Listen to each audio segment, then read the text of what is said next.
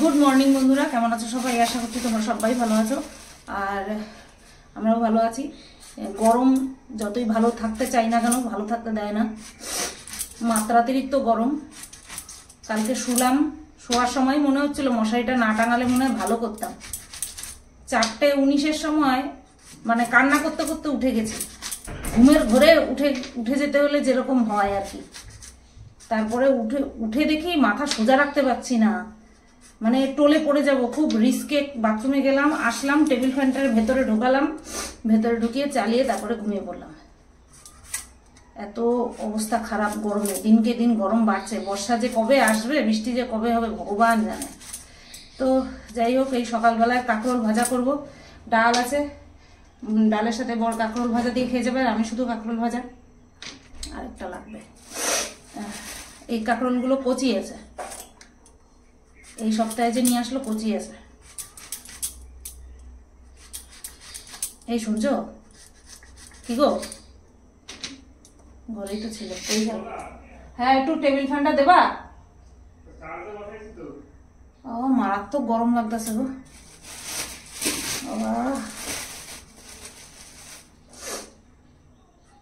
কাঁকরোল ভাজা করব আর করব পটল পোস্ত। মাঝখান থেকে ভাগ করে দেবো। আর আজকে করব মাংস। মানে কাঁকরোল ভাজা পটল পোস্ত আর মাংস। আর চাটনি অল্প একটুখানি আছে, ওটা শেষ হোক, তারপরে আমের চাটনি করব। কালকে আম দিয়ে ডাল করতে গেছি, বলে কি আমি দুটো আম এনেছি। আর আজকে গিয়ে দেখি কি চারটে আম এনেছে। মানে ওই আম দিয়ে পুরো চাটনি করব, তার জন্য মিথ্যে কথা বলেছে আমাদের চলো কেটে কুটে নিই, তারপরে আবার আসছি। কাঁকরোল ভাজার কাঁকরোল আর পটল পোস্তর পটল সব একসঙ্গে লবণ, হলুদ মাখিয়ে নিচ্ছি। ভাজবো অবশ্যই আলাদা আলাদা, কিন্তু একবারে সব লবণ, হলুদ মাখিয়ে নিলাম।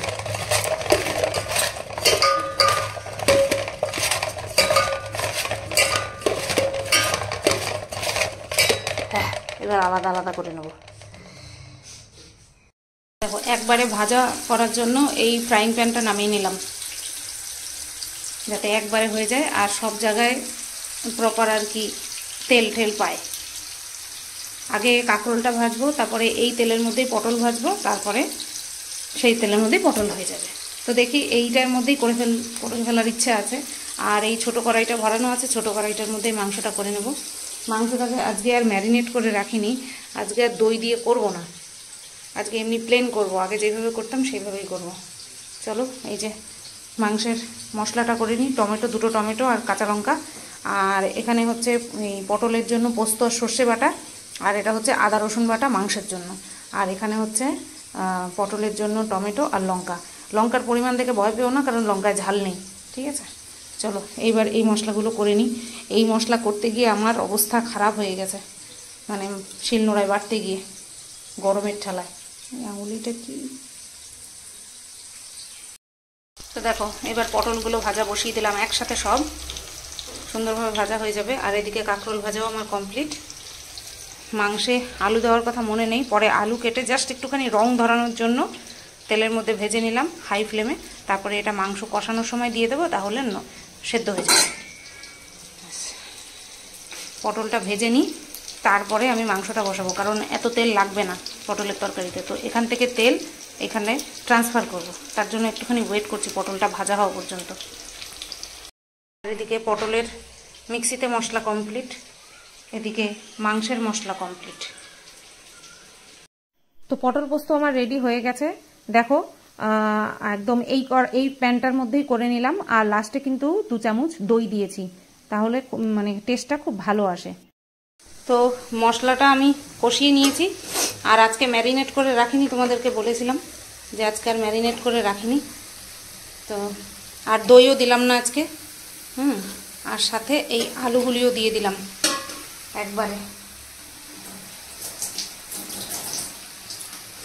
হাতটা ধুয়ে নিলাম, খুন্তিটা ধরার আগে এইবার মাংসটা কষতে দিয়ে, মাংস আর আলু কষতে দিয়ে তারপরে আমি খাব। বর খেয়ে দিয়ে কাজে বেরিয়ে গেল, সেরুকেও খাওয়ানো কমপ্লিট এইবার এইটাকে মিডিয়াম লোতে বসিয়ে দিয়ে তারপরে আমি খাব। ভাবছিলাম এই লেগ পিসটার মাঝখান দিয়ে ভাগ করব। এখান দিয়ে একটা ভাগ করলে ভালো হতো। কিন্তু আর করা হলো না। মনে নেই করতে। চলো। মশলা মাখানো কমপ্লিট এবার ঢেকে রাখি। দেখো কি ভালো লাগছে দেখতে। তো দেখো মাংস কষে গেছে, এবার জল দিয়ে দেবো, আর আলুও ভালো মতন সেদ্ধ হয়ে গেছে। হুম আলু সেদ্ধ হয়ে গেছে, বেশি চাপ দিলে পুরো ভাগ হয়ে যাবে, মাঝখান থেকে দেখতে ভালো লাগবে না। তো এইবার জল দিয়ে দেবো। আর দই দেওয়াতে দেখো, নিচে একটুখানি লেগেও গেছে, কিন্তু পড়েনি কিন্তু। একটুখানি লেগে গেছে, ওটা জল দিলে ছেড়ে যাবে। তো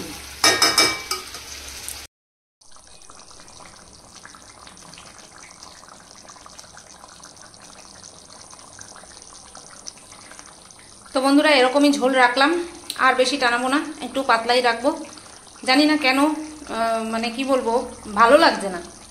মানে মুরগির মাংস হচ্ছে, দুপুরবেলা মাংস দিয়ে খাব, এরকম একটা ফিলিংস সেরকম আসছে না।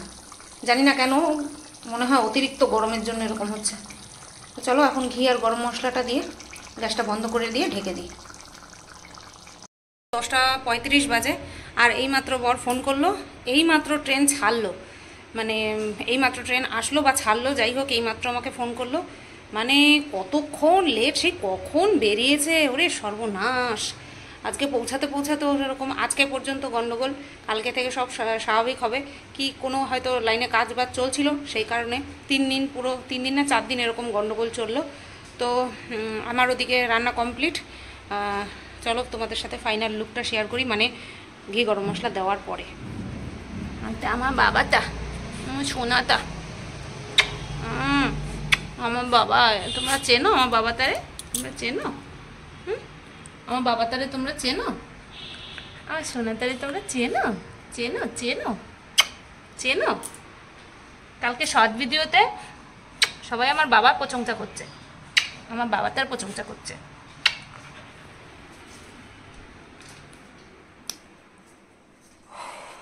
চল ব্যাক ক্যামেরা অন করি। এই যে। কালার তো ভালোই এসছে। খেতে ভালো হলেই হয়। বেশ একটু সিজল, সিজলিং সিজলিং ভাব হয়ে গেছে। একটুখানি লেগে গেছিল তাই। পড়েনি কিন্তু, বেশ একটা হালকা লাল লাল ভাব এসছে। চলো। এটা ভিজিয়ে দিই।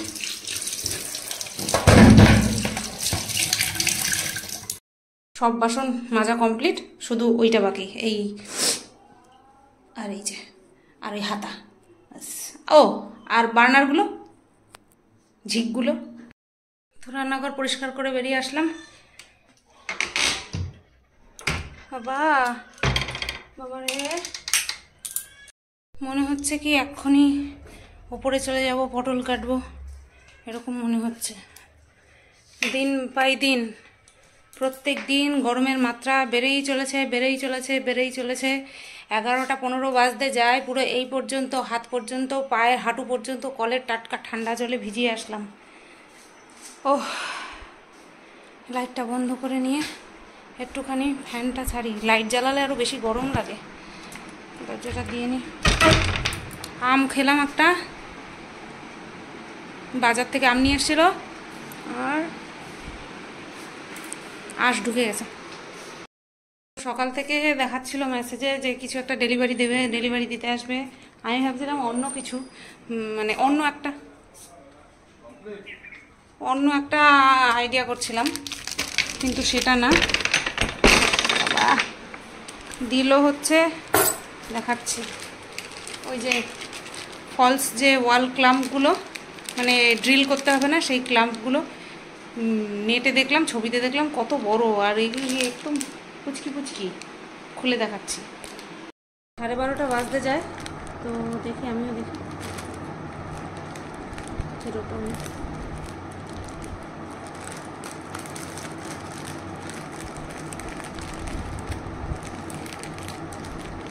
লেখা তো ছিল দু কেজি পর্যন্ত ওজন ধরতে পারে। হোল্ড করতে পারে, এবার দেখা যাক। এইটুকু টুকু খুদে মাল। কোন দিকে যে মুখ থাকে। বড় প্যাকেট।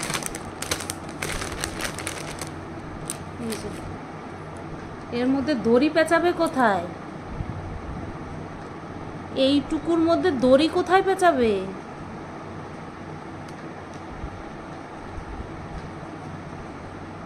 হায় ভগবান।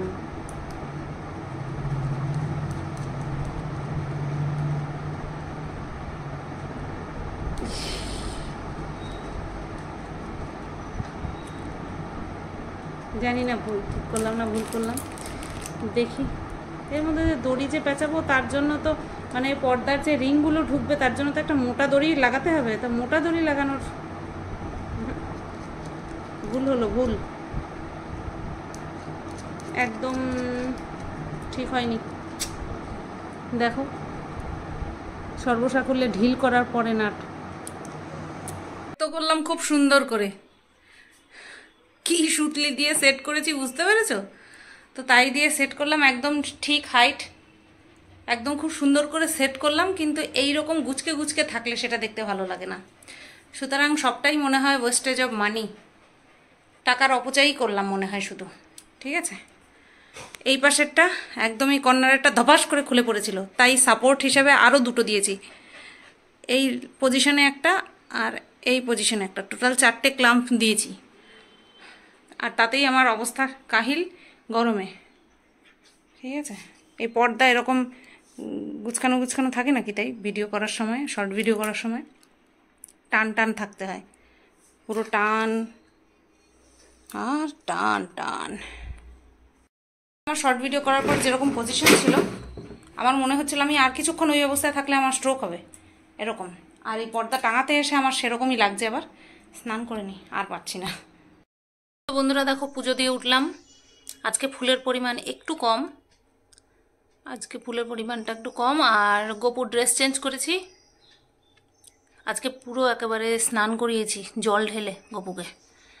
যা গরম পড়েছে। আর আজকে কি করেছি জানো? একটা ছত্রিশ বাজে। আজকে কি করেছি? এই টেবিল ফ্যানটাকে, এই টেবিল ফ্যানটাকে একদম লোতে দিয়ে তারপরে প্রদীপ টদীপের উল্টো দিকে একটুখানি দূরে রেখে তারপরে আমি পুজো দিয়েছি। নতবা এই যে একটু বন্ধ করেছি, ব্যাস, শুরু হয়ে গেছে। আমারই এত কষ্ট হচ্ছে নাকি? অরিজিনালি গরমটা এত বেশি পড়েছে, আমি বুঝতে পারছি না। আমার মনে পড়ে না, আমি কোনো গরমে এত কষ্ট পেয়েছি। কোনো বছর গরমে এত কষ্ট পেয়েছি আমার মনে পড়ে না। সাংঘাতিক গরম। এখন এটা নিয়ে যাচ্ছি রান্নাঘরে, কারণ ভাত বসাবো তাই। বাবা, চলে আসো। সেরু এই খাটে, এই ঘরে খাটের একেবারে নিচে। একদম ওই কোনায় চলে গেছে। এত গরম। আর সিলিং ফ্যান চালাতে পারব না। প্রদীপ টদীপ নিভে যাবে। আর ফ্যান চালালেও ফ্যানের তলায় থাকে থরি। তো বন্ধুরা, বাজতে যায় দশটা পাঁচ। বরকে ফোন করলাম। বলল এখনও সংহতি? এই কয়েক মিনিট আগে ফোন করেছিলাম। বলল, সংহতি। মানে ট্রেন আবারও লেট সেই লেট তো এইমাত্র ভাত গড় দিয়ে আসলাম। দুপুরের পরে আর মনে হয় তোমাদের সাথে আর দেখা করিনি। আমি সন্ধেবেলাও ভাবছিলাম দেখা করব, কিন্তু মানসিক পরিস্থিতি ভালো ছিল না। সেই কারণের জন্যই আর কি দেখা করিনি। তো একটা কথা না বললেই না যে আমার জীবনের এই ওয়াইটির কেরিয়ারে, ইউটিউব কেরিয়ারে আমার জীবনের সবচেয়ে বড় ভুল ছিল আজ থেকে প্রায় এক বছর আগে, প্রায় এক বছর আগে রানাঘাট যাওয়া। তো ওটা আমার জীবনের সবচেয়ে বড় ভুল ছিল, ওয়াইটি কেরিয়ারে সবচেয়ে বড় ভুল ছিল তার মাসুল হয়তো আমার সারা জীবন গুনব। আইনি পথে শেষ হয়ে গেলেও হয়তো মানসিক দিক থেকে সারাটা জীবন মনে থাকবে যে এই রকম একটা মেন্টালিটি মানুষের সাথে আমার পরিচয় হয়েছিল। কোনোদিনও যদি রানাঘাট এই আইনি বিষয় ছাড়া যদি কোনোদিনও রানাঘাট যা, যেতে হয়, ছ নম্বর প্ল্যাটফর্মটার দিকে আমি ঘুরেও তাকাবো না। ছ নম্বর প্ল্যাটফর্মটার দিকে আমি ঘুরেও তাকাবো না। আমার লাইফে সবচেয়ে বড় মিস্টেকগুলির মধ্যে ওটা একটা মারাত্মক মিস্টেক নাম্বার ওয়ানে রয়েছে ওই মিস্টেকটা ব্যাস, এই, এইটুকু কথাই বলব।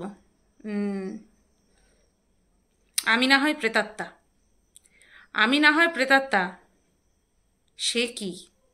ব্যাস। তো চলো, ভিডিওটা এই পর্যন্তই রাখলাম। এখানেই শেষ করলাম। যদি মনে কোনো কথা থাকে, অবশ্যই আমাকে রিলেট করে কোনো জায়গায় যদি কোনো কথা হয়, সে ছোট ক্রিয়েটার থেকে বড় ক্রিয়েটার যেই হোক না কেন যদি আমার কিছু বলার হয়, আমি এই চ্যানেলেই বলে দেবো ব্লগিংয়ের মাধ্যমেই বলে দেবো, ঠিক আছে? এক্সট্রা করে আমি যে আর কিছু করব না, সেটা তোমরা নিশ্চয়ই এতক্ষণে জানতে পেরে গেছো। তো এই ভিডিওটা কতটুকু কি হয়েছে এডিটে আমি এখনও বসাইনি, জানিও না কতটুকু কি হয়েছে। সবাই তোমরা ভালো থেকো, সুস্থ থেকো, নিজে ভালো থেকো, পরিবারের সবাইকে ভালো রেখো, ব্যাস। পরিবারের মানুষগুলোর সুস্থতা সবার আগে। তার জন্য নিজের যদি সর্বস্ব ত্যাগ করতে হয়, সবচেয়ে প্রিয় জিনিসটাও যদি ত্যাগ করতে হয়, তাতেও সই, সেটাও সই। আর আমি সেটাই করেছি। আমার কাছে সবচেয়ে প্রিয় এই যে, ইনি, এনার বাবা, আমার বাবা মা, ওনা, ও আমার হাজব্যান্ডের বাবা মা, যত আত্মীয় স্বজন রয়েছে, আমার জন্য কারোর কোনো ক্ষতি হোক, সেটা আমি কোনো দিন চাইব না। কোনো দিন পারবও না করতে। সবাই সমান হয় না। সবাই এত ভালো উন্নত মস্তিষ্কের মানুষ হয় না যে নিজের একটা অবৈধ চাহিদাকে প্রায়োরিটি দেওয়ার জন্য নিজের স্বামীর বিরুদ্ধে নোংরামো করা, নিজের সবার নামে সবার নামে নোংরামো করা, এটা সবার দ্বারা হয় না।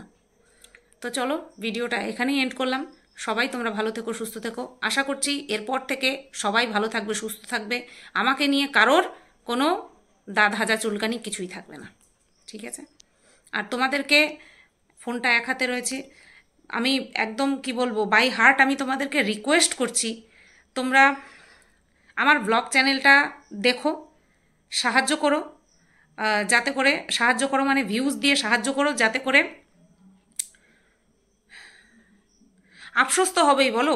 ওই চ্যানেলের ভিউজ ওই চ্যানেলের ভিডিওর সংখ্যা আর এই চ্যানেলের মাত্র একটা ভিডিও সেখানটায় আফসোসের জায়গাটা তো অনেকটাই থাকবে।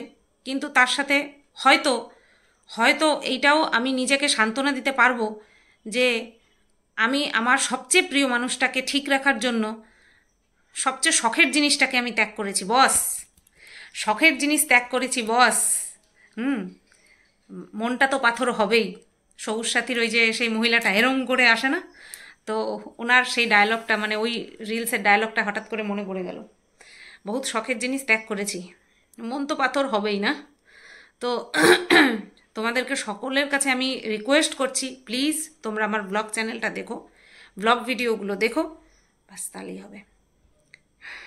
চলো, টাটা বাই বাই আর চেষ্টা করব যাতে এই চ্যানেলে কম করে দুটো ভিডিও দেওয়া যায়, একটা ডেলি ব্লগ আর একটা মাথা থেকে কিছু ক্রিয়েটিভিটি বের করতে হবে। ভগবান যেগুলো দিয়েছে সেগুলোকেই কাজে লাগানোর সময় হয়তো এসেছে এখন।